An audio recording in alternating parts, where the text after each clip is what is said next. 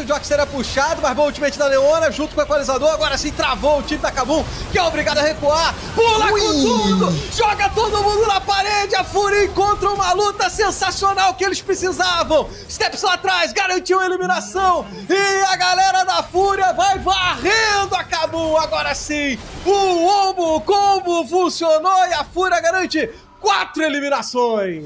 O Joe até fez um excelente trabalho de controle, né? Mas era muito dano para cima do seu adversário. Não tinha. para cima do seu aliado, desculpa, não tinha muito o que fazer.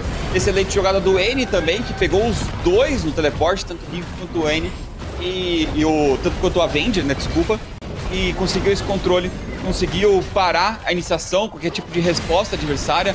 Talvez um bom time de Doriana tivesse virado esse lance.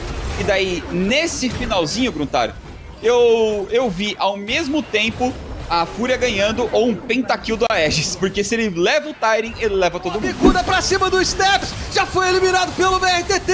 A Pei puxa o gatilho no momento certo e o robô voou direto no N. A Fúria tenta resistir dentro da sua base. Belo equalizador, não deixa a Fúria continuar essa chegada. Ainda assim, o time é engajado, ele aguenta muito, recupera a vida, mas é eliminado. Só sobrou o BRTT que é detonado. O Tyring fica por ali. BRTT fez um triple kill, mas quem consegue um ace é o time da Fúria, com o triple dele também. Tyring